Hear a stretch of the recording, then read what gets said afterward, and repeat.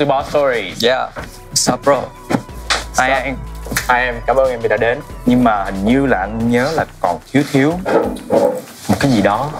Em cũng mới nghe nói là hình như ngày hôm nay có một sự bất ngờ nữa nhưng mà em cũng đang chờ đón cái sự bất ngờ đấy. Vậy thì mình sẽ uh, bật mí luôn bất ngờ nha. Dạ. Welcome, Binzy. Yeah. Hi. Wow. Đây là đoạn này là phải có khói đạp, đạp khói bay bay bay bay. Hi. Hi, Dustin. Hi. Hi, em. Thank you. Welcome, Kitty Subin to Bar Stories.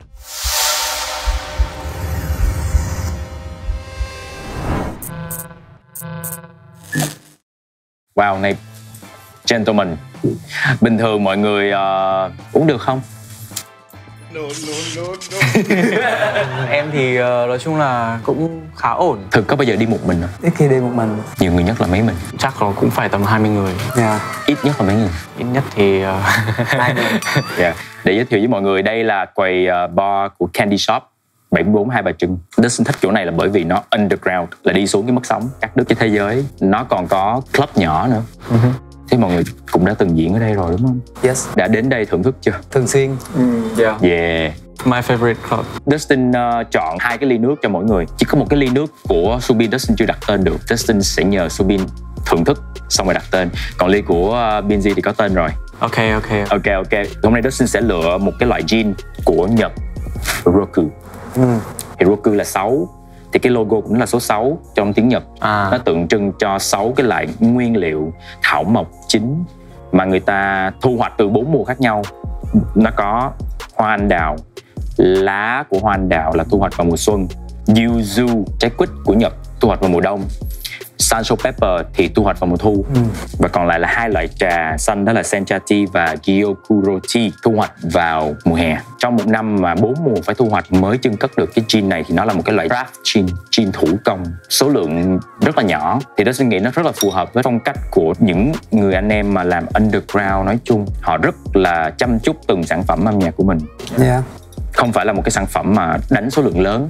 Ừ.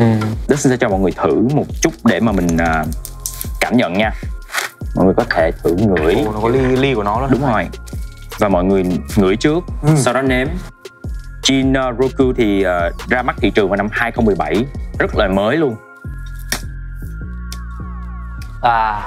Nó nồng hơn loại gin thường. mình cảm thấy có cái cái vị lá nó rõ nó rõ hơn trong cái này hai loại lá trà vậy thì Dustin sẽ làm cho mọi người mỗi người một ly. Đầu tiên là ly của ờ, Subin. Mình sẽ cho, đầu tiên là hai lát gừng. Mình sẽ mash.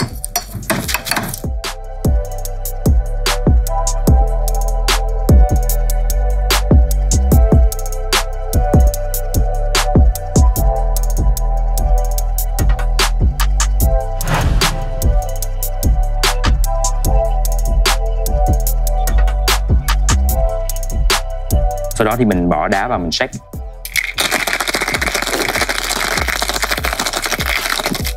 sau đó thì ờ, mình sẽ cho khoảng 20ml soda.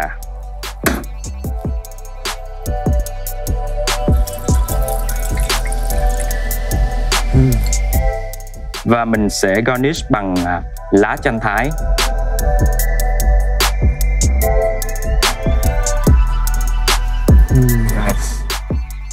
Bây giờ em sẽ thử rồi em sẽ cho anh một cái tên thử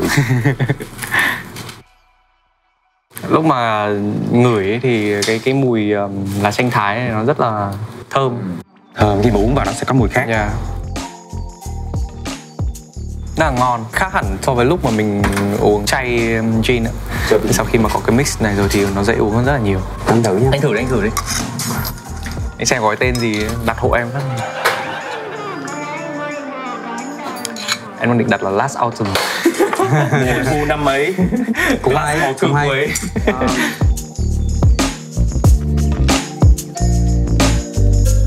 cái chuyện đặt tên lúc nào cũng khó đúng rồi. Bài hát em viết em cũng không biết đặt tên làm sao. Đúng Điều bài hát em thích nhất tên gì? Phần đặt tên bài là cái lúc mà em bị đau đầu nhất. Là em cũng không theo một cái cấu trúc hay là một cái quy luật nào đấy cả. Hứ. thì thường là em cảm giác như là nó hợp với cái tên gì thì em đặt như nó như thế thôi thường thì mọi người hay lấy những cái keyword ở trong một bài hát để có Ừ. thể lấy làm một cái tên bài hát. Mà em thì ờ, em thích những cái gì nó nó nó freestyle hơn xíu. Đức sẽ làm cho Binzy một ly tên là So Deep. Trước tiên thì đã xin muốn Binzy uh, thử những nguyên liệu của Andros như thế này. Wow. Cái gì nhìn lạ đấy này chắc chắn là kiwi rồi. Kiwi chắc Ờ. chắn. Cái này chắc khó nè. Em thử luôn em thử ra em thử ra là em có nhận ra được cái syrup không? Ok cái này anh anh bin đoán là bin uh, kiwi rồi để em đoán thử cái này nhá. Ừ. khó nó không phải là một cái mà thông dụng đối với người bình thường. Hoa này hay thường được sử dụng để làm hương liệu cho nước uống. Cái cái vị này rất là quen. Yeah rất là Rất là quen, đúng không? Về cụ thể là cái gì ok để xin sẽ bật mí. Thì đó là elderflower là hoa cơm cháy. À, Andros là một cái thương hiệu mà chuyên cung cấp những cái loại nguyên liệu bằng trái cây 100% nó có thể làm thành syrup. Chân kỳ là những cái mà sauce mà nó có miếng trái cây hoặc là puree là hoàn toàn xay nhuyễn ra hoặc là những cái trái cây đông lạnh. Ừ. ừ. thì hôm nay chúng ta sẽ thử làm một cái món có cả rokujin cộng với lại kiwi và siro hoa cơm cháy từ Andros. No, no, no, no. hỏi bạn uh, bartender tại sao đặt là so deep đố bin gì? Um, thì vì ờ, mình phải dùng ờ, cái ly sâu này. Đấy. Nó. Cũng có lý mà. Có lý. Em cũng đang nghĩ đến cái ly. Thế anh em giống nhau cực. Không biết được để xin nói đi. Sofa và Deep Sea hả? oh ok. Yeah, có hai bài hát. ok. Cái ly này sẽ cũng dùng à, 50ml Rokujin. Mình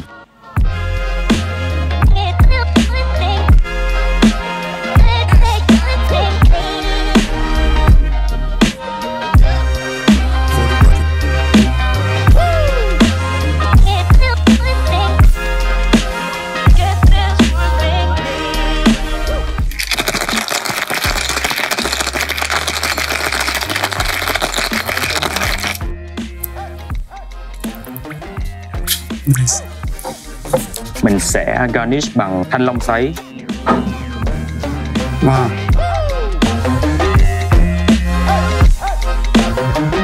so deep I don't know if it's is it deep enough? maybe nếu mà hết ly thì sẽ deep phải ừ.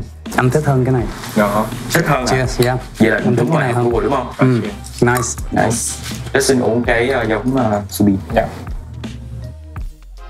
Bên thấy cái vị ki- kiwi nó rõ hơn là cái vị rượu nên rất là thích tại vì ờ, không uống được nhiều rượu á nên những những cái loại uh, Nó cocktail mà nhẹ nhẹ Nó lừa. nhưng mà cũng nguy hiểm lắm đúng không Nguy hiểm. nha Quan trọng bên em mình- có muốn thử không Thử đi nè, đây là cái uh, quan trọng là mình uống mà mình nói nhiều thì sẽ bay bớt cái uh, cái cồn đi. à, Sao? em thích con gái của em đấy Vậy là quá tuyệt vời rồi. Mình là chọn So đúng deep. rồi. Xuất sắc. Đầu tiên là phải chúc mừng cả hai bạn đã có một cái màn um, kết hợp dạ lần đầu tiên của Binzy và Subin. Hai bạn có thể kể lại cái quá trình là tại sao lại có cái sự kết hợp này không? Blackjack là một sản phẩm mà bắt nguồn từ em thì cái bài hát đó là em đã viết cách đây rất là lâu rồi sau khi mà cái bản demo của bài hát nó được đến tay của anh Toliver thì anh Toliver có giúp em là trở thành người sản xuất âm nhạc cho bài hát đó. Và sau khi mà cái phần của em nó hoàn thành xong rồi em và anh Hoàng có ngồi nói chuyện với nhau và nghĩ ngay đến là chính là cái bài hát này nó có màu sắc của nó cực kỳ hợp với một rapper nữa. Ừ. không ai khác đó chính là anh Binzy thì uh, em với các anh Hoàng đã liên lạc với anh Binzy và muốn là ba anh em có một cái sản phẩm kết hợp chung với nhau. Có phải là lần này là một cái sự trở lại mà Subin thật sự rất là kỳ vọng không? đã cũng kỳ vọng rất là nhiều tại vì uh, cũng khá là lâu rồi em mới có khoảng thời gian mà lặng lâu như thế có lẽ cái lần trở lại này nó nó cũng xứng đáng Dạ. Cái lần lặng lâu đó đối với em như thế nào? lâu nhất từ trước đến giờ mà em từng uh, tự gọi là ẩn thân ấy. Như mọi người cũng đã từng biết là Subin trước đây xém bị gọi là hoàng tử ballad luôn. Không gọi rồi chứ. Gọi rồi. Ngày đó cái ngày đó là cái tên luôn. Yeah. yeah, nhưng mà Nấu. nhưng mà Dustin lại có một cái ấn tượng rất khác về Subin. Dustin nhớ về Subin La La La và Yeah. thế là hết những cái bài mà R&B hoặc là upbeat. Màu sắc âm nhạc của em nó khá là mâu thuẫn. Nó không được focus hoàn toàn vào một dòng nhạc nào. Là do em hay là do Ờm, do em. Tại vì là từ bé đến giờ là em được tiếp nhận rất là nhiều những cái dòng nhạc khác nhau. Và bản thân em thì cũng biết là mình đam mê và mình mình mạnh ở cái dòng nhạc nào. Thì ờ, cái dòng nhạc mà em thực sự cảm thấy rất là yêu thích và mình đam mê đó chính là hip hop underground và R&B còn cái dòng nhạc mà mình thể hiện rất là mạnh đó chính là ballad.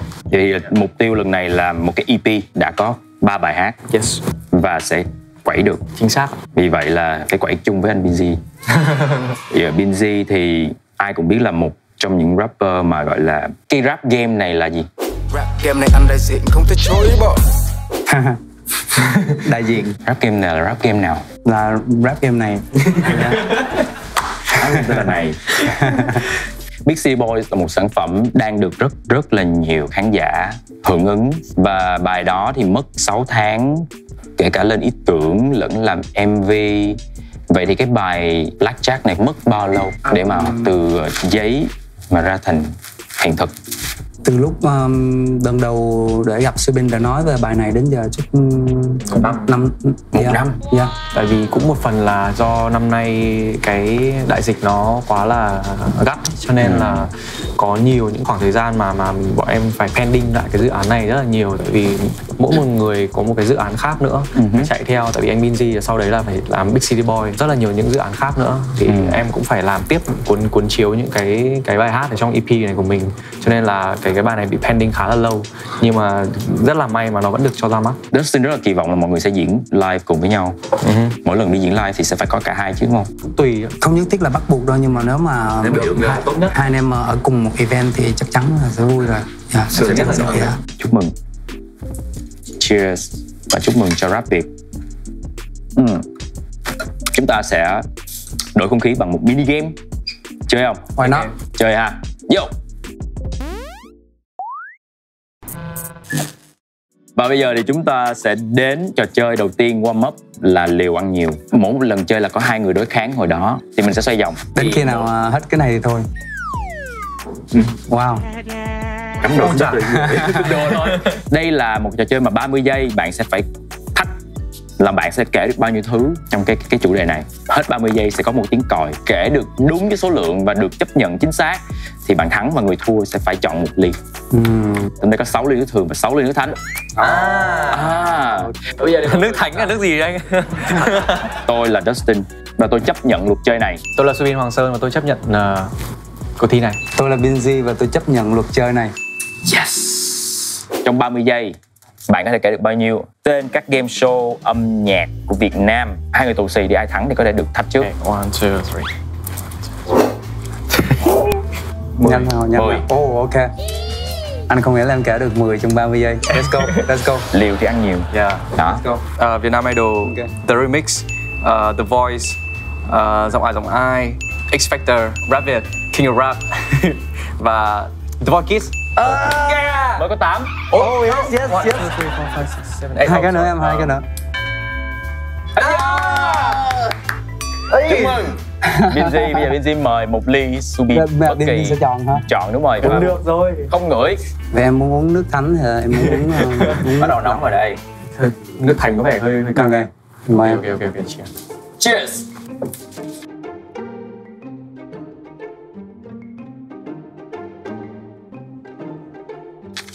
thường ấy đó. Chắc chắn là thường rồi anh. Rồi chia ly lại. Xui xui đen quá. Một hai ba.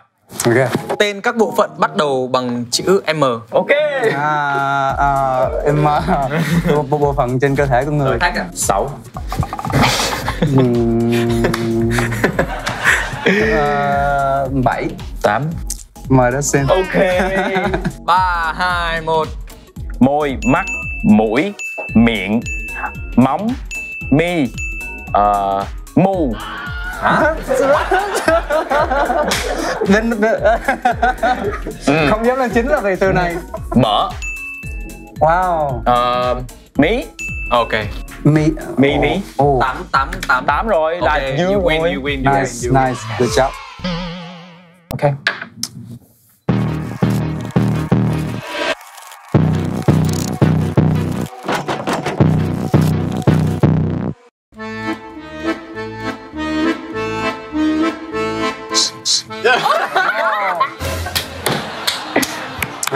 good good good. You know what? You're out. Nên là đứng ở trong. đi đọc câu hỏi ok nha. Ok Rồi, một hai ba.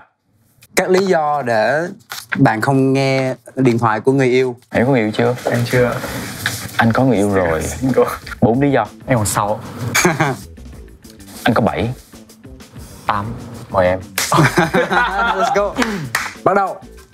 đi quay đi chụp đi diễn Ờm, người yêu mà nói kiểu đi quay chụp đi diễn cũng một thứ. Dạ, ừm, ờ, bận họp À, đi công tác ờ, trên máy bay dưới hầm. Và chui xuống hồng lắm.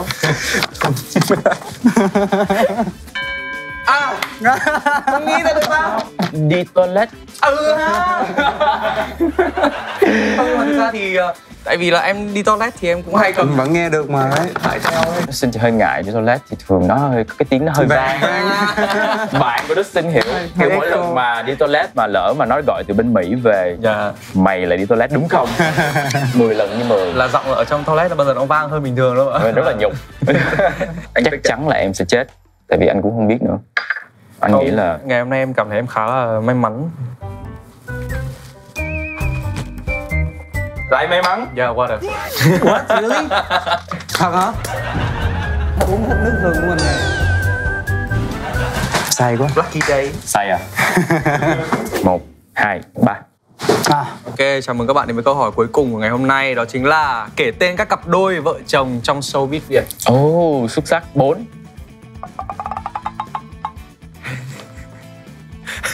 không không biết không u yeah. Sao nhờ nó đã đứng như vậy thua rõ luôn rồi. Ok. À, Let's go bro. mời đó xin Oh. nhưng chịu không thể gỡ được năm. Bắt đầu. Ờ, Lâm Vĩ Dạ Hứa Minh Đạt Tiến Luật Thu Trang. Ok. Ờ, Hồ Hoài Anh và Lưu Hương Giang. Oh. Trấn Thành Harry Won oh. nice. Nếu có thêm ờ, một cặp nữa anh có thể kể ra được Oliver Tóc Tiên. Ừ. À, Ờ, một cặp nữa là có chị Xuân Lan với lại anh Lâm Nguyễn. À, yeah Too bad. Come on Có quyền cho mình chơi giống bơm? Yes. À, Nếu mà nợ thì nợ cái gì? Nợ ân ok, tình ok, ok. Không phải phải có một cái nợ chứ phải trả chứ. Và tí ờ, nếu mà em có thua một cái môn gì đấy mà liên quan đến vận động thể chất thì anh chắc anh biết gì deal. That's a deal. Thank you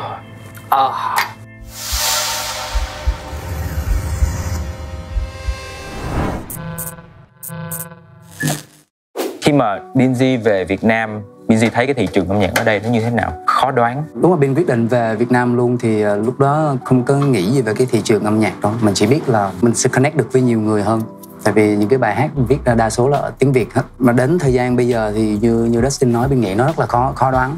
À, mình không biết cái gu âm nhạc của mọi người ở mỗi thời điểm nó ra sao hết. Có những lúc mọi người rất là thích những cái mà mình không thích. Cái cảm giác của bên đôi khi mình bị off cái cái gu của mọi người. Mình dựa vào những cái gì mà nó đang thịnh hành hoặc là những cái gì mà mọi người đang nghe nhiều nhất đôi khi nó không phải là cái taste của mình dạ như mình nói đó nó mình cũng không biết được à, cái um, cái tai nghe của mọi người mỗi thời điểm nó nằm ở đâu hết nhưng mà cái điều đó cũng là cái, cái điều rất là thú vị yeah. Em có cảm thấy mình bị off cái gu của mọi người như là Binz không? Chứ mình chưa bao giờ mình là một người nghệ sĩ thực thụ ấy, thì mình sẽ có thể flexible được bản thân của mình nó theo được cái thị trường nhưng không có nghĩa là mình chiều thị trường quá nhiều ừ. mình vẫn phải luôn luôn giữ cái chất của mình để khán giả khi mà nghe nhạc của mình người ta biết được ngay đấy là nhạc của Subin nó là nhạc của anh Beans Ừ.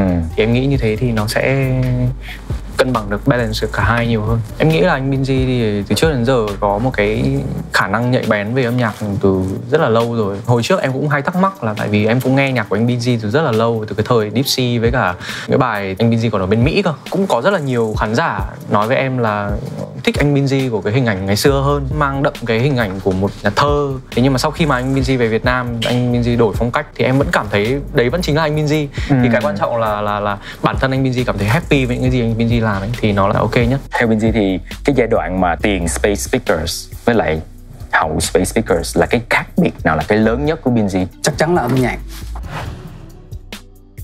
Trước đó thì những cái bài nhạc của bên uh, nó nhiều mơ mộng lắm có tính thơ nhiều hơn nếu mà mình có thể nói như vậy. Um, còn từ sau khi mà vào trong Space Speakers thì những cái project âm nhạc những cái beat của anh Tulliver nó không có mang những cái màu sắc thơ đó nữa mà nó nó là thẳng vào mặt luôn buộc bên phải um, chuyển đổi cái style mình theo cái dòng nhạc đó ừ. và cái điều đó là cái điều uh, nó cũng là một cái bước tiến lớn ở trong cái cái việc học của mình uh, với cái tư cách là một người viết nhạc đó. thứ nhất nghe nó phải hiện đại nó không mơ màng như lúc trước nó cũng ít buồn như lúc trước Bin có nghĩ là những cái sản phẩm mà nó mang tính hiện đại thẳng vào mặt như thế này đang là xu hướng của nhạc Việt Nam không?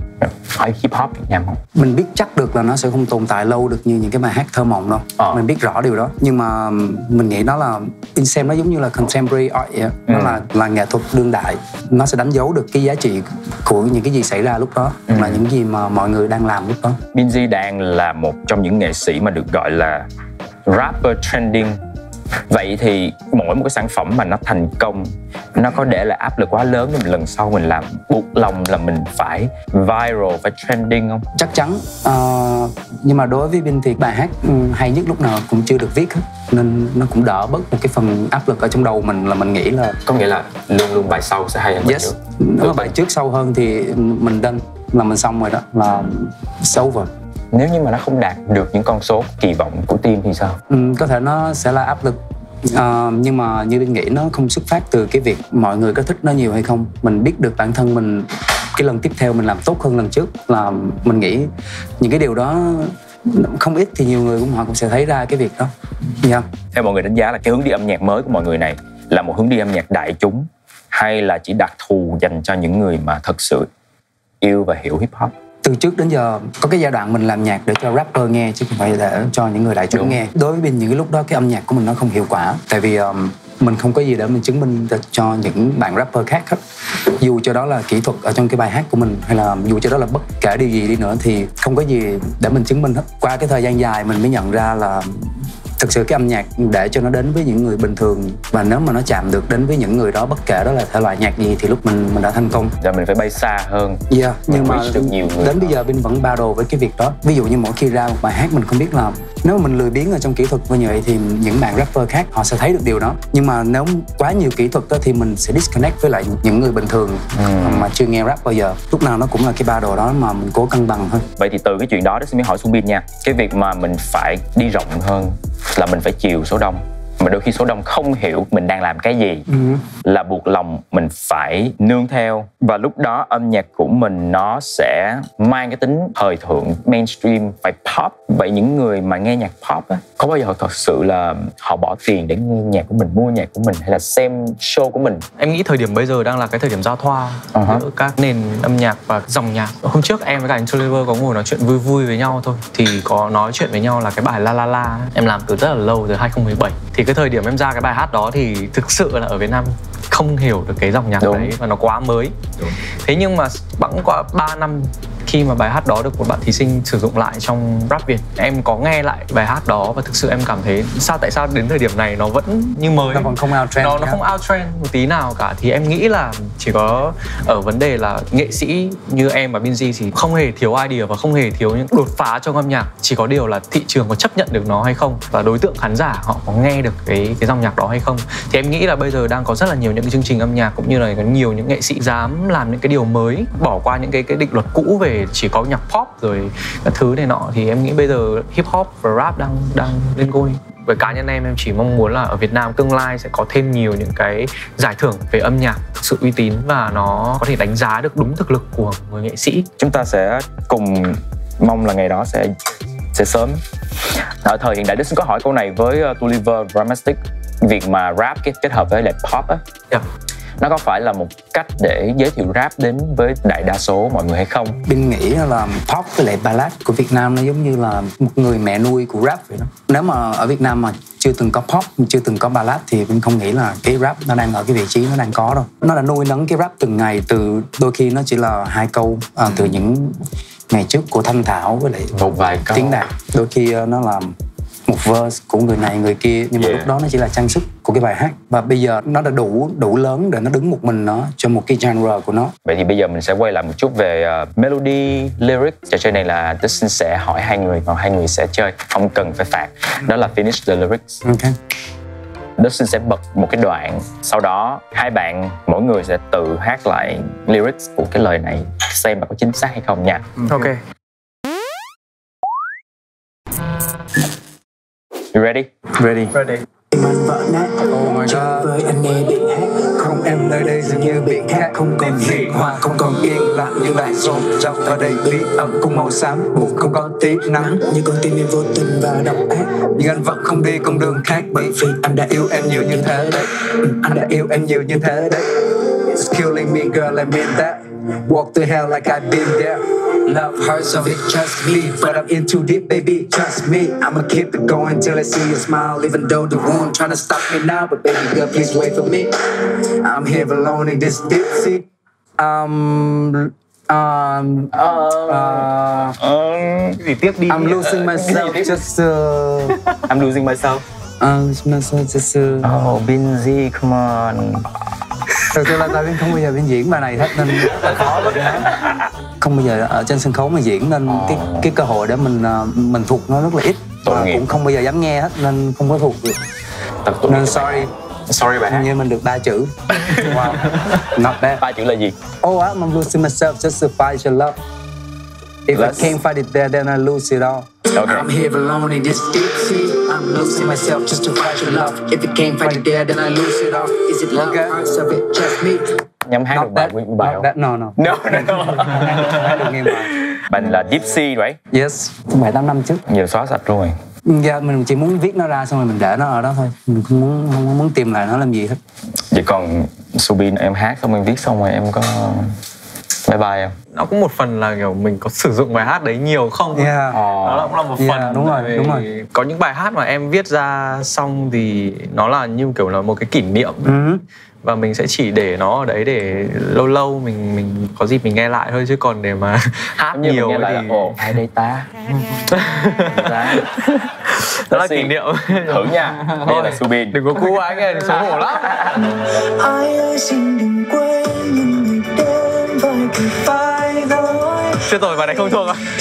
Nghe từng tiếng nhạc ngỡ xa rồi để tình với thời để cảm xúc vỡ hòa trên môi. Oh, ơi, ai ơi xin đừng lặng im im. Cái gì nhỉ ai xin đừng nghe. Cái gì nhỉ cái gì nhỉ um, tại vì bài này là Grammastic viết và Sumin thể hiện đúng một lần duy nhất trong cái bộ nhạc phim của bộ phim YOLO. Ơi xin lặng lặng nghe. Alo Romantic hả? Ờ, Có người quên lời. sorry anh nhá.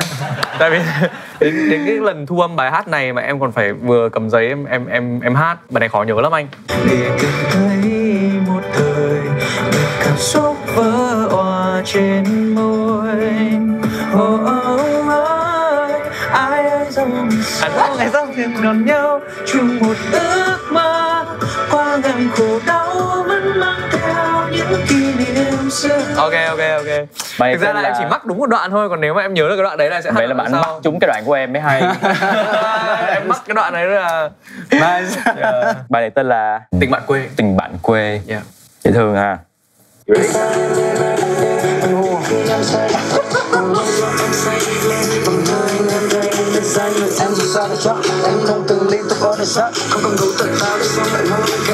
Kẻ mắt thật đẹp cũng chỉ để khóc. Ngay từ đầu không cần chẳng anh để tin. Trò chơi tình yêu em không thể win. Ừ. Những gì em cần anh cho được hết. Sao Nhưng mà riêng tình yêu em đâu thể xin. Sorry. Let's see, let's see, let's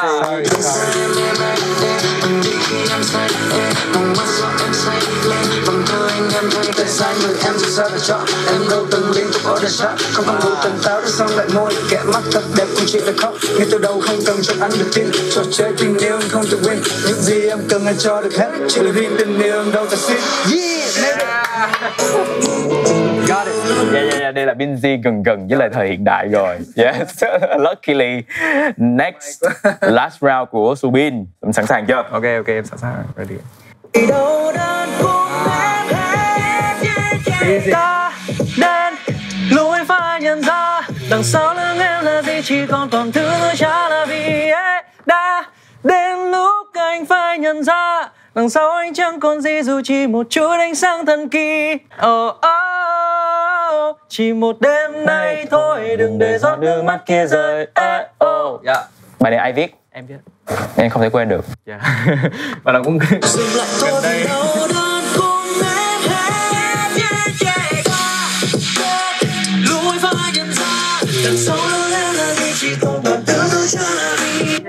yes yeah. Ok ok ok. Không sao không sao. Good um, vì mình đi qua quá là nhiều những cái bài hát như vậy mọi người có nghĩ là nhiệm vụ của một nghệ sĩ là phải có những cái body of work giống như là một album? Of course. Và album đó nó sẽ đánh dấu một cái điều tuyệt vời trong một cái chặng đường. Nhưng mà tình hình hiện nay ở Việt Nam á, mọi người có thấy là rất là khó để mà làm một cái album để bán và là kiếm được tiền dựa trên cái album đó hay không? yes Với Subin thì cái album luôn luôn là một cái vật phẩm rất là thiêng liêng của một người nghệ sĩ và ở trên thế giới họ đánh giá cái tài năng cũng như là cái mức độ rich của một người nghệ sĩ bằng những cái album seller. Bất cứ một nghệ sĩ nào nên phải có một cái album dù có là bán hay là làm kỷ niệm thì cái album đó nó sẽ hội tụ và nó sẽ đánh giá được tất cả những cái gì đặc sắc nhất đến từ một người nghệ sĩ. Ừ. Nhưng mà ở Việt Nam mình không có quá nhiều người có thể sản xuất được một cái album hoàn chỉnh. Nhưng mà họ vẫn được coi là hit maker. Thì mọi người nghĩ có fair không? một người nghệ sĩ họ có rất là nhiều hit single. Có thể là nhiều hơn là cái số lượng bài hát của những cái album họ có nhưng mà cái dấu ấn nó sẽ không đậm bằng cái dấu ấn của một cái album. Tại vì um, mình làm một bài single đôi khi nó chỉ là một cái ngẫu hứng của mình thì nó đã thành một cái single rồi. Nhưng mà khi mình đã làm một album thì nó nó cần một cái sự tập trung nhất định từ mình. Như Dustin nói á, cái phần body of work thì cái album nó nó sẽ heavy hơn rất là nhiều so với một cái single và mình nghĩ um, cũng nên dùng uh, album để mình mình đánh giá cái giá trị và cái cuộc đời công hiến của người người nghệ sĩ bằng Yeah. album chứ không nên bằng single Có một dự định nào khác mà mọi người có thể chia sẻ hay bật mí một chút gì không? maybe um, Space Speaker Show Yeah. năm sau hả Maybe. next year maybe. Maybe The first Space Speakers show ever. sau năm nay thì cả em thì sau cái EP vừa rồi của em và chuỗi dự án của anh Bin thì bản thân em và anh Bin cảm thấy khá là mãn nguyện với 2020 rồi.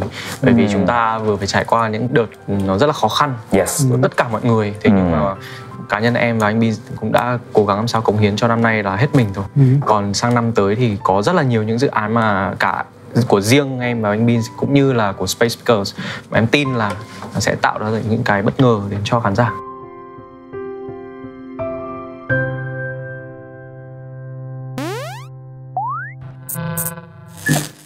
Chúng ta sẽ đến với một cái phần thử thách rất là căng thẳng.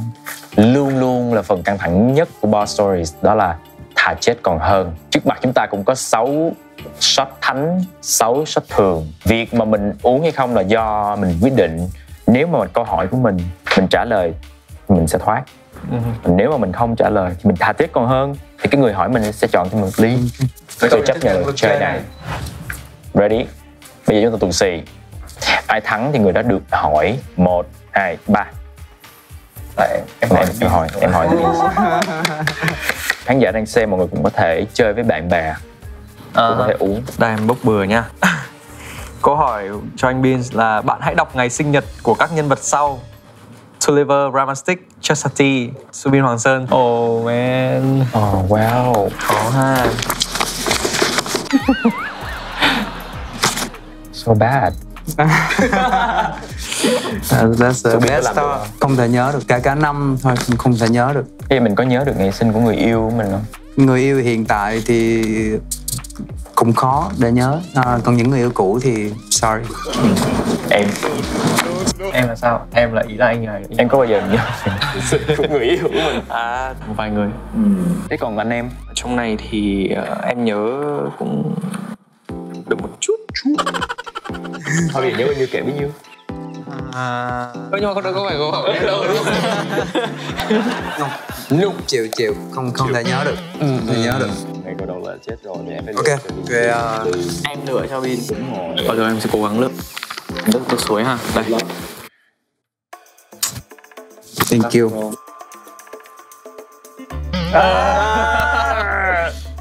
vậy à, Viên cứ thể dùng quyền trợ giúp à, À, từ ok, từ ok. từ mình sẽ Dustin được dùng không? quyền trợ giúp một lần ha. Tại vì hôm nay Bin phải đi diễn. Yes. Dustin cũng không muốn là Bin cắm đầu xuống đất. Thank you. Trên sân khấu. Thank you. Thì, thì ờ, sau này thì mình sẽ có cái nợ gì? Sau này à, mới đi ăn hoặc muốn dạ Vin sẽ Vin sẽ mời Dustin à, một bữa trưa hoặc là dạ. Yeah ok dạ. Có cả. Sao? Bin dạ. Ok. Good deal. Thank you. Lần đầu tiên uống bia trai Nó không phải là trai của mình.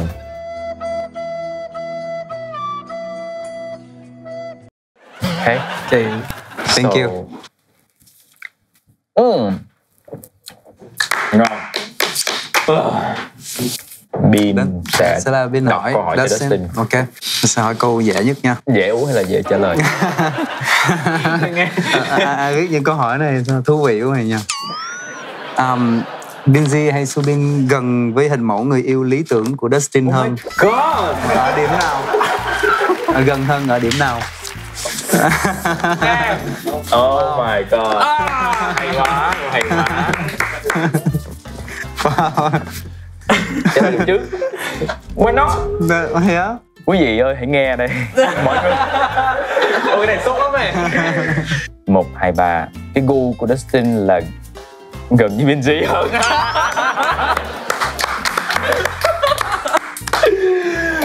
Wow. nhưng mà Thank là you. sao là nếu mà mình có nhắn tin hay cái gì đó đừng có im lặng nha. Tại vì Ok. mình không có ý gì đâu sao người yêu ở điểm yêu em không anh? Người yêu anh hả?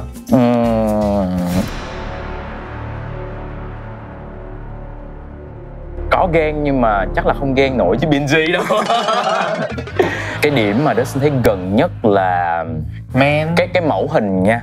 Chứ không phải là người yêu hiện tại của mình. À là vừa bad mà vừa sến. Mm. Is that I'll you? take that, I'll take that. Yeah. So tổng hòa lại nó rất là buồn cười, rất là dễ thương. Thank you. Thank you. Okay. Subin, nhìn muốn trả lời hay muốn uống? nếu trả lời được thì tốt Theo Subin, rapper số 1 và music producer số 1 Việt Nam hiện nay là ai? À, Trong trái tim của Subin. thực sự thì cái này nó nó không phải là nick hay là gì đâu nó là cái cảm quan của bản Đúng, thân em đúng thôi. rồi. nếu mà xét trên yếu tố về đương đại bây giờ ấy, thì em có thể trả lời ngay là em tin nó là anh Tolliver và Benji Thank you. Thank you. Thanks. yeah. Hai người big bro của em Yes. Ok, thoát rồi đó. yes yes Rồi, bây giờ uh, Subin câu này thì chắc là anh Bin trả lời được này trả lời được nè. Hy vọng. trị giá thật căn nhà của bạn tại thời điểm này yeah Oh. yeah, yeah. Cái thật sự anh cũng không muốn trả lời đâu nhưng mà cũng không muốn uống. nhưng mà lần này thì là biết đường để trả lời. Ờ. Uh, 28 tỷ. Maybe around that. Around that. Được đấy, được đấy. Được. là qua rồi đó Đã qua rồi đó. Mà em có biết chưa? không bây giờ em mới biết Cảm giác của em như nào? không thực ra thì em cũng chỉ mới biết được thêm là anh Binz đang uh, nhầm nháy là định uh, mua thêm thôi chứ em chưa biết là căn nhà hiện tại của anh Binz như nào yeah. Chắc phải làm rapper.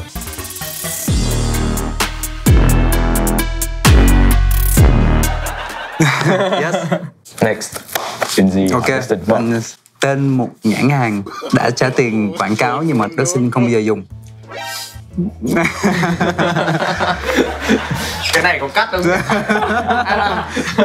Không chơi cắt nha. Ờ, không chơi cắt à Oh my god. Ông basically là đã trả tiền thì mình phải hiểu nó là cái gì Tại vì Dustin có nói với là mấy bạn sinh viên trẻ hơn là Muốn biết suy nghĩ của người tiêu dùng thì mình phải dùng thử Ừ. Rồi mình mới bán cho họ được Hay là mình marketing cho họ được ý anh là anh là một KOL có tâm đúng không ạ Đúng Em có vậy không? thì chắc chắn là như thế rồi ạ, vâng Nhưng mà Dustin đó đâu phải là câu trả lời đâu, right? Thì câu trả lời Dustin uống á ok ok Ok. ừ, Không, đây là một cái điều đúng Tại vì không thể nào mà mình bóc phét được Ừ. phải dùng. Dù cho nó không hợp với mình thì thì mình cũng phải dùng thử một lần. Sure. chết rồi đó xin chắc chết rồi. Um, này, hãy để cho um, mẫu người lý tưởng của bạn pick cho bạn một ly. Nước thường oh. sao mình thích ờ, toàn nước lọc cho mọi người vậy? Đây là câu hỏi của Subin. Subin đã có bao nhiêu lần bị xù cách xê? Số tiền bạn bị mất là bao nhiêu? À để em nhớ xem nào. Cuộc đời nghệ sĩ cũng khổ ha. Nghĩ phải nghĩ coi là mình đến coi mình bị xù bao nhiêu tiền. Em nhớ là em khá là may mắn trong cả một cái quãng thời gian mà em đi diễn rất là nhiều. Em có một người quản lý rất là tốt cho nên là cái việc gọi là bị thì à, không. bị xù thì hình như là chưa xảy ra. Nhưng mà có đúng một lần thì là em diễn ở một club nhưng em không nhớ lắm là ở đâu. Không phải là bị xù mà là tức là người ta vin vào lý do nọ vì vin vào lý do kia mà trừ đi 50% cát xê của em. Vì những cái lý do rất là um, vớ vẩn đó đấy là cái lần duy nhất lần duy nhất mà em bị. Số tiền bạn bị xù là bao nhiêu? Thì 50% số số tiền gốc câu hỏi là số bạn số tiền bạn bị xù là bao nhiêu? Nếu mà finish được câu này thì thì thì, thì ấy còn không thì mình uống. Chết rồi phải nói à. Ờm, Thời đó là khoảng 2017 Khoảng 40 triệu. Đau không? Có tức cả đêm hôm đấy thôi nhưng mà hôm sau thì hết. 40 triệu một đêm quăng vào cửa sổ À, Tại vì thời đó thì em cũng chạy rất là nhiều Cho nên là mình cũng phải tập trung vào những cái buổi khác ấy Cho nên là Yeah. coi như là mình không không may thôi đôi khi cái chuyện đó nó cũng chẳng ảnh hưởng nhiều bởi vì cái công việc của mình là sáng tạo. Yeah. đôi khi công việc của mình không phải là thu ngân cho nên là mình không có cảm giác nhiều lắm đúng không? Cũng buồn lắm cũng tiếc lắm nhưng mà tại vì đó là mồ hôi công sức của mình bỏ ra ấy. nhưng mà đấy là cái khoảng thời gian mình mới đi diễn ấy. Mình Ừ. xác định là mình cũng phải trải nghiệm qua những cái cái việc như vậy đi. Cũng có nhiều chuyện nó có thể xảy ra mà mình không biết trước được. Em qua rồi đúng không? Wow. yes. Tới em đặt câu hỏi cho Bin. Chết rồi. Có vẻ như bạn biên kịch. Biên kịch mình gì sao ấy? Uống đúng không toàn câu khó thế này không biết nữa.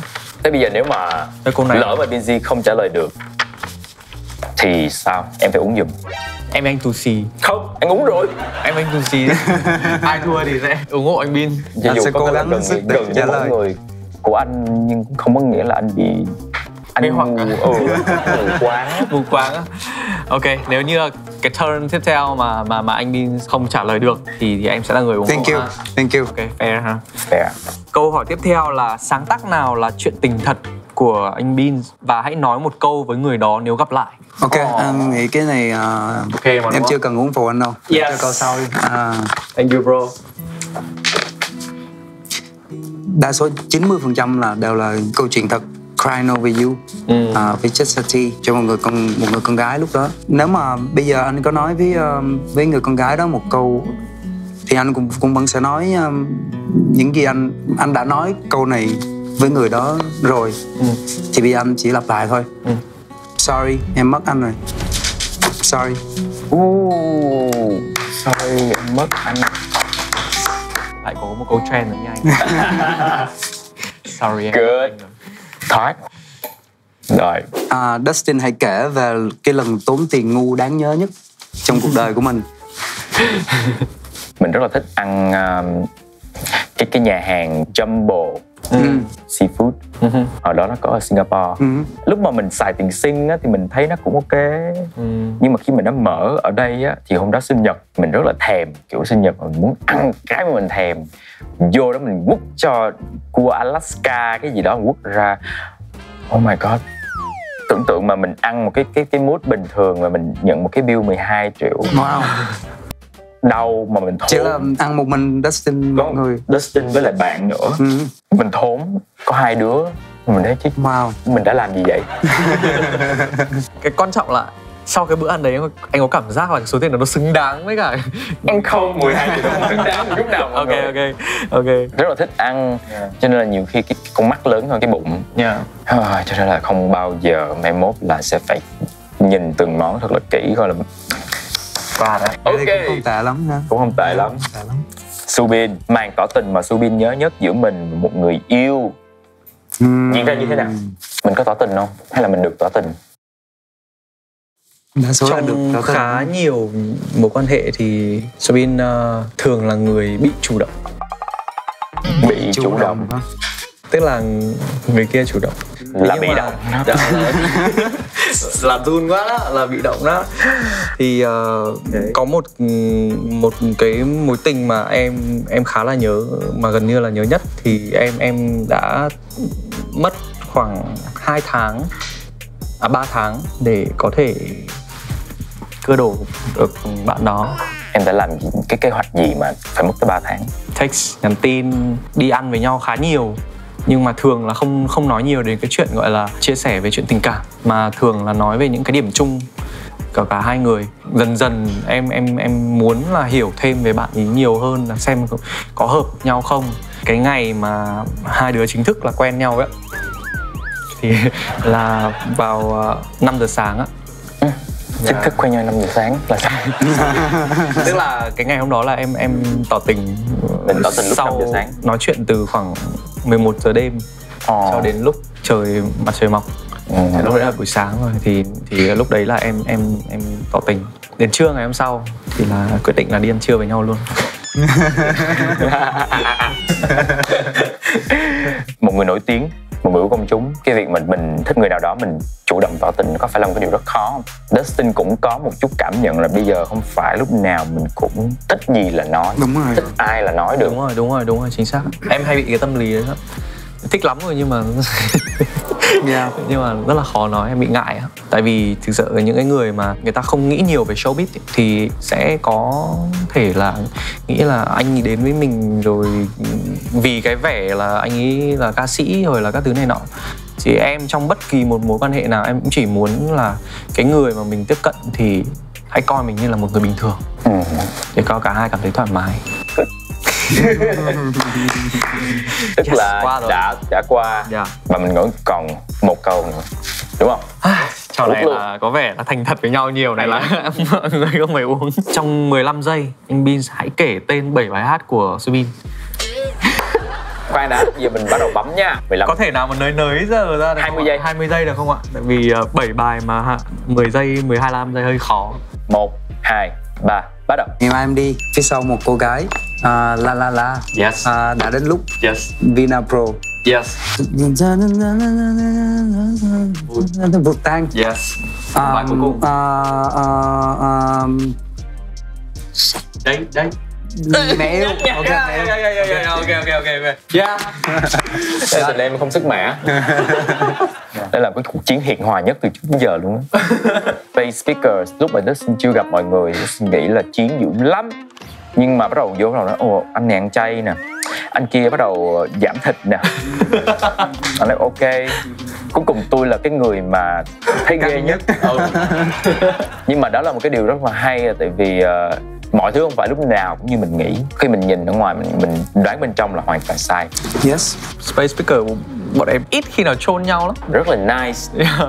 gentleman Yeah. Bin hỏi Dustin Dustin hãy xếp hạng à, giảm dần về sự yêu thích cá nhân đối với các rapper sau oh Binz, Suboy, Wowy và Carrick ủa vậy hả yêu thích cá nhân đúng không được Anh đã từng tiếp xúc trước với cả cả bốn người. cả mọi người luôn rồi mà right? hầu như là thế À ha. nhưng mà sâu á, thì độ mức độ khác nhau. Ừ. mức độ yêu thích cá nhân không liên quan đến uh, chuyên môn. Number one là Huawei. Number two là Suboy. So number three là người gần giống với mẫu người của Dustin nhất. Thank you. Binz. Tại vì mới gặp hôm nay thôi. Yeah. có thể lên number one sau. Chưa biết. Và cuối cùng thì là Carrick tại vì hình như chưa phỏng vấn Carrick lần nào chỉ là gặp nhau ở backstage thôi Nhưng mà có lý do nào để anh sắp xếp cái vị trí thế không? Huawei là một người mà thứ nhất là cũng 88 bằng tuổi nè Ừ. và cái kiểu của Huawei á là bên ngoài không giống bên trong À. ờ ở bên ngoài ai cũng nghĩ là gai góc khó tính nhưng mà khi bên trong thì thấy Huawei là một cái người kiểu xưng tên với nhau Huy với lại tin á là kiểu mọi người hiểu là nghe nó rất là buồn cười nhưng mà mình thích điều đó mình thấy Huawei rất là thật với lại có cái thời gian trải nghiệm là quay nhiều show với nhau rồi Ừ, ok. à, thoát câu hỏi cuối của em đúng không Dạ. last question một bí mật mà Subin chưa từng kể trong các bài phỏng vấn trước đây Wow. Sumin có bí mật gì mà chưa bật bật bí ai nhỉ? mà không có bí mật Trước giờ Sumin cũng yếu khá nhiều. nhiều là bao nhiêu Ừm, chắc cũng không thua kém anh Beans là mấy đâu. à, và Subin cũng cũng mới mới uh, mới break up. Oh, Yeah. sorry. Yeah. That's my answer. So it's, uh, Enough. that, that, yeah, that's Một enough. phút mặc niệm hả? Big enough. Yeah. Everything done. Dạ, cái chuyện thì cũng là bình thường. Yeah. Yêu nhiều, mình hưởng nhiều thì mình cũng Phải mất nhiều phải mất nhiều. Yeah. Nhưng mà sau mỗi lần thì chắc là mình học được nhiều bài học. Cô đơn hơn nhưng mà đang dần quen với việc đấy. Mấy anh em đều ở đó khi mọi thứ nó xảy ra với Subin mà. Có thể là bí mật với mọi người thôi nhưng mà từng cái giai đoạn thì mọi người ờ, ở gần nhau mà nên mình, mình những biết nó xảy ra anh thế nào thôi. những người mà giúp Subin vượt qua những cái ngày khá là sóng gió. ngày hôm nay thì có thêm ờ, anh ờ, Dustin Dạ. và khá nhiều người đang đứng sau để biết nữa và sắp tới là các bạn ở trên cũng, cũng sẽ biết Ai cũng có những cái lần break up. Không sao thì đó là bởi vì nghệ sĩ thì cũng là con người. Yeah. Thì Dustin rất là vui bởi vì chúng ta có một cái buổi trò chuyện như thế này. Không biết là bao lâu nữa mới có lại lần nữa nhưng mà rất là cảm ơn Subin và Vinzi và hy vọng là mọi người sẽ ở lại để cùng thưởng thức cái tiết mục đặc biệt của Bo Life Đó là một cái phần trình diễn hài độc thoại của Uy Lê đến từ Sài Gòn Tếu. À.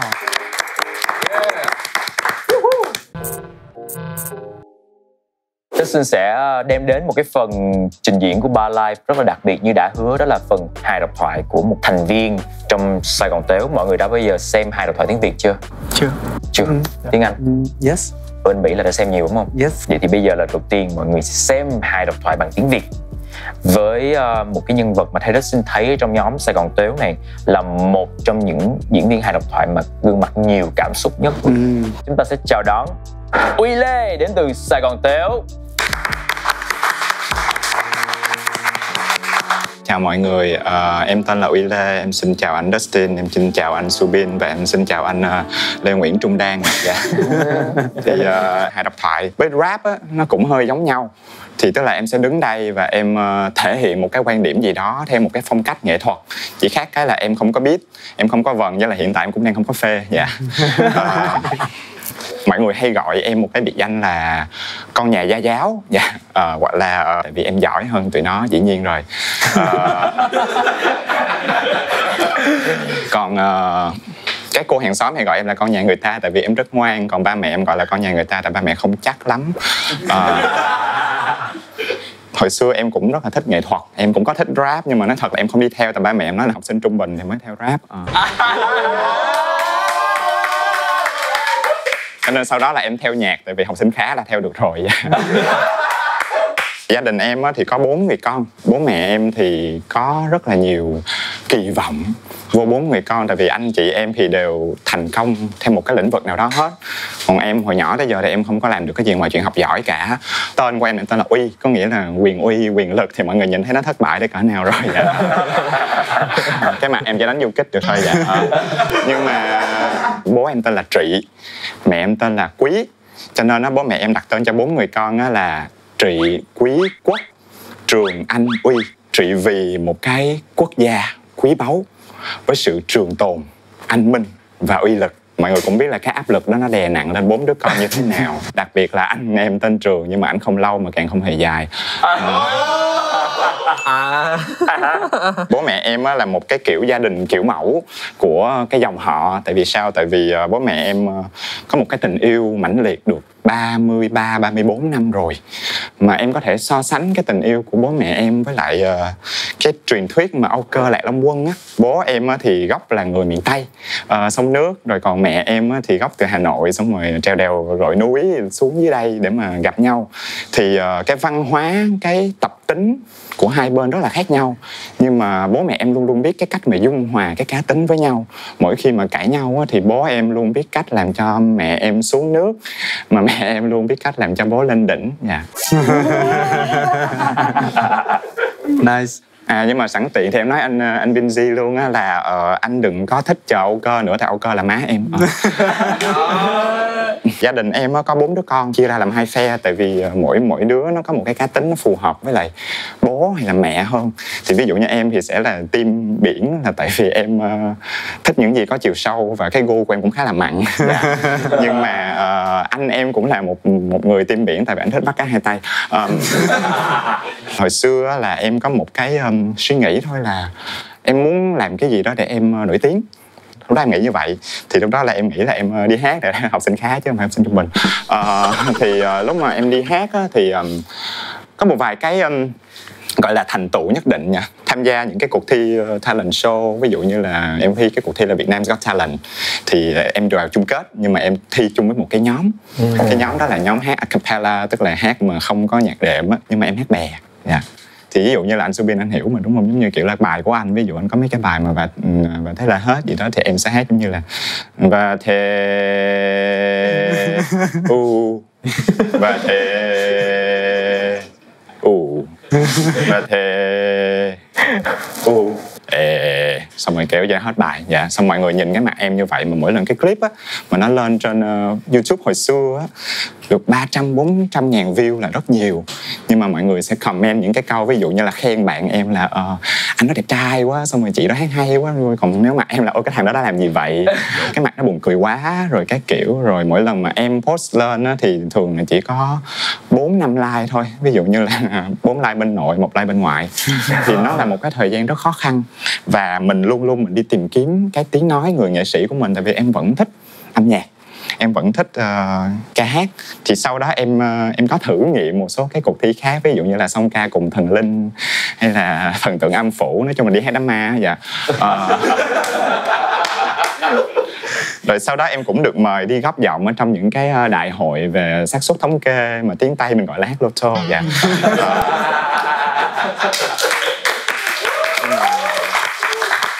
thì ờ, trong cái thời gian đó mọi người luôn luôn nói với em á là mày sẽ không làm được giọng hát thì cũng có nhưng mà cũng không tới đâu đâu tại vì ừm, kiểu như ngoại hình của mày đâu có giống Subin ví dụ như vậy anh với em mà đứng kế bên nhau là nhìn anh giống như là cái tượng Oscar mà em như là con ký sinh trùng vậy đó ờ. nhưng mà em ờ, rất là băn khoăn và em luôn luôn nghĩ là mình sẽ cố gắng chứng minh là họ sai mình sẽ cố gắng đi tìm cho nên em tiếp tục em học học thanh nhạc rồi các kiểu kỹ thuật rất nhiều. Sau 2 năm em đã phát triển và em đã quyết định đi diễn hài độc thoại vậy cuộc đời này á, thành công á, không nhất thiết là mình cứ đâm đầu theo một hướng rồi mình nghĩ là mình sẽ làm như vậy nhưng mà mình tìm ra cái tiếng nói của bản thân. Thì à, lúc mà em à, diễn hài á, cách đây khoảng 5 năm rồi là em diễn tiếng Anh. Thì lúc đó em diễn bằng tiếng Anh thì những cái show gọi là show á, thực ra có khoảng 4 năm người mà bốn người diễn còn một người là vợ của một trong bốn người đó. Thì nó, nó nó khá là cô đơn á dạ nhưng mà em cũng thử tại vì sao? Tại vì lần đầu tiên mình đứng lên sân khấu mà có mình mình. Trước giờ em luôn luôn quen là em sẽ đứng trên sân khấu với một rất nhiều người và em sẽ đứng đằng sau em tùm tùm gì đó và em lùi bước về sau để thấy anh rõ hơn. Nhưng mà em ờ, em quen với cảm giác đó nên khi mà mình được đứng trên sân khấu với tư cách là chính bản thân mình, em có một cái suy nghĩ là liệu sẽ có một ngày em đứng trên sân khấu và em nói được cái cá tính của mình, em nói được những cái điều em muốn nói với những người khác hay không. Nó cũng giống như là là rap vậy đó. Em nghĩ vậy. Tại vì sao? Tại vì lúc mà em đi diễn tiếng anh á em được bảo vệ. Mọi người chỉ biết em diễn tiếng Anh. Bố mẹ em thấy em diễn tiếng Anh cái kiểu ồ nói tiếng Anh nhầy quá. Xong kiểu không hiểu em đang nói gì mà giờ em đang cà khịa bố mẹ em. Ờ, thì khi mà em quyết định mà em về em diễn tiếng Việt á thì uh, nó có rất nhiều cái khó khăn.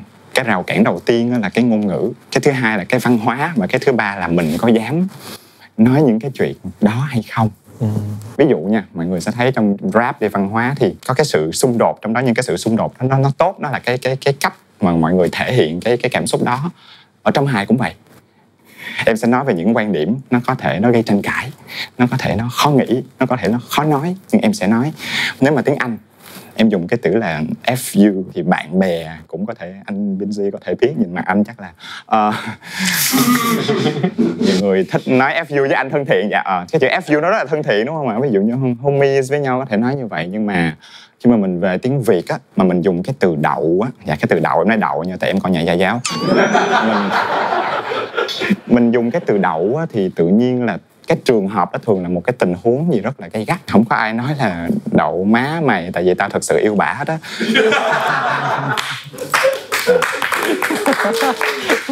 Sự xung đột đó rất là khó khi mà mình trong tiếng việt mình không dám chửi thề. Và thứ hai á, là khi mà người người việt mà mình chửi nhau á, mình toàn là đậu má mày chứ không có ai nói đậu mày hết á. Yeah. tức là em không biết tại sao nó không tức là mình mình né tránh cái sự công kích trực tiếp hay sao tại mình thích đánh du kích vậy là trả lịch sử mà dạ. Ờ. tức là người việt có vẻ là hơi sợ, gọi là, những cái cái sự công kích trực tiếp đó, cho nên họ hay nói gián tiếp, họ nói né, họ cứ đậu má mày rồi nhưng mà má em đâu có rảnh đâu. Kiểu má em còn phải đi làm rồi xong rồi giặt đồ rồi nấu cơm, má em đâu phải là cái bãi xe công cộng mà muốn đậu thì đậu. Cái sự khác biệt đó là sự khác biệt thứ nhất. Sự khác biệt thứ hai là ngay cả trong đại từ nhân xưng. Tiếng anh thì mình có thể nói you, me, nó rất bình thường, nó rất là cân xứng với nhau. Mình không bao giờ có một cái gọi là trên dưới gì cả. Nhưng mà tiếng việt á, thì cái việc mình tôn trọng, gọi là tôn ti trật tự có trên, có dưới, nó rất là quan trọng. Ví dụ như là em với mẹ em đi. Tại vì hồi xưa là em đi học thì mẹ em dạy trong trường. Cho nên nó là em ờ, đi học mà em gặp mẹ trong trường thì em sẽ gọi mẹ em bằng cô còn mẹ em gọi em bằng à, con. Còn khi mà về nhà thì em gọi à, mẹ là mẹ, còn mẹ gọi em là thằng chó vậy.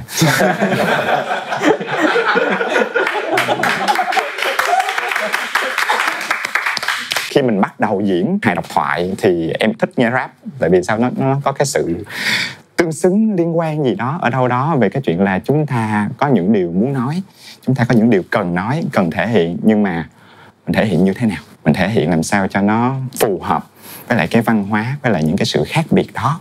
Với hài độc thoại thì tụi em luôn luôn thử. Giống như là mình rap thì mình cipher, mình freestyle vậy đó. Và em thấy được là cái giá trị của cái chuyện mà chúng ta sống thật nó quan trọng tới mức nào khi mọi người dùng từ chất? Thì hồi xưa em nghe rap đó, có những bạn em nghe rap em thấy rất là dễ thương tại vì giống như kiểu các bạn không má mày tại vì hôm qua tao quên làm bài tập ví dụ vậy. Thì em thấy cái cái cái struggle đó nó, nó hơi nhẹ dạ.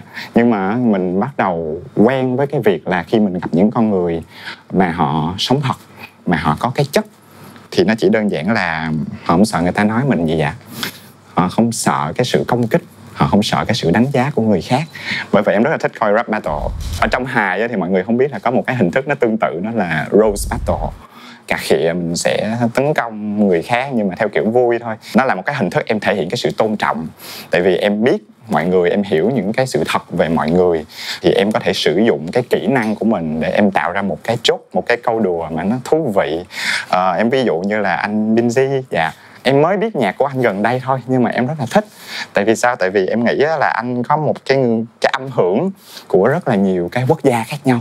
Dạ thì ví dụ như là em nghe nhạc anh gần đây thì em thấy cái âm hưởng của anh dạo này có vẻ là anh đang thích châu á. Dạ nhưng mà nhưng mà sau đó thì ờ, cái cái cái cách nhả chữ của anh á, thì nó lại làm em tưởng liên tưởng tới cái gì đó da màu. Chắc tại vì anh muốn được châu phi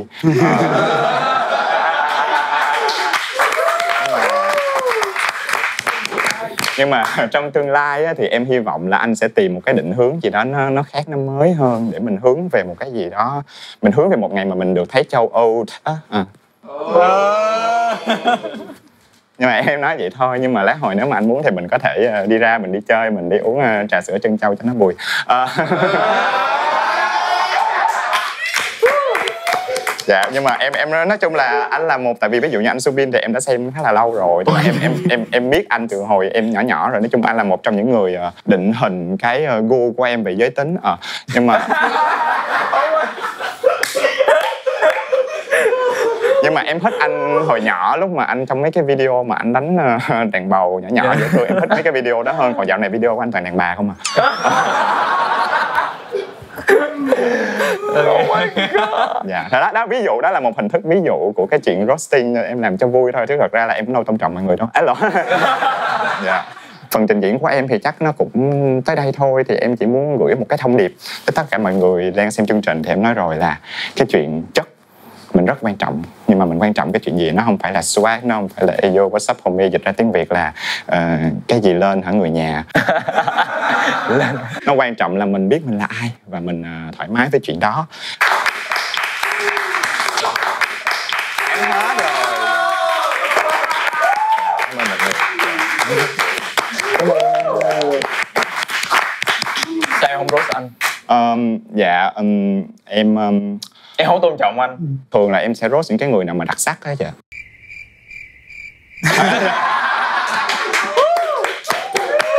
Dạ giỡn, dạ giỡn, dạ giỡn. dễ thương.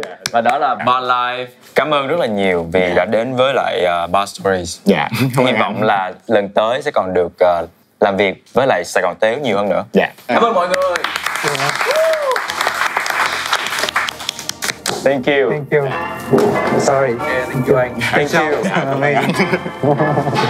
thank you em nhiều Dạ, nha. Dạ, cảm ơn. Xuất sắc xuất sắc. Amazing. Cảm ơn